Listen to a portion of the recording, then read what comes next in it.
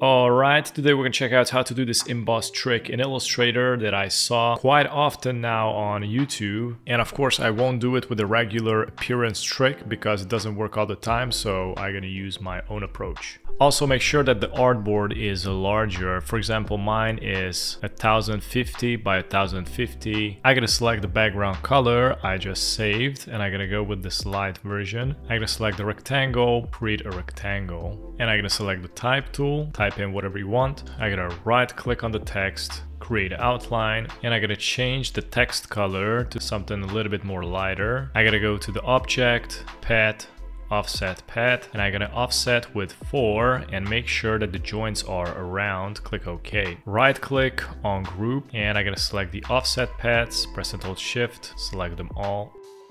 Right click group and I'm gonna add a color to this and I'm gonna select a lighter one and I'm gonna go to the layers and I'm gonna bring the offset right above the background. So you can see it's a little bit lighter than the background and I'm gonna select the offset, press and hold alt drag it down to the left and I'm gonna change the background color to a darker color and I'm gonna right click arrange send backwards so it's gonna be right under the stroke offset from here I gotta go to the effect blur, Gaussian blur, and I gotta put it on 5, click OK, and it's gonna make it blurry. Okay, I gotta press and hold Alt, create a new copy, drag it upwards, and put it somewhere here. And I gotta change the color to white this time, so it's gonna make it pop even more. And I'm gonna rearrange the shadow a little bit more. I'm gonna reposition the lighter one. And it looks something like this. Thanks for watching.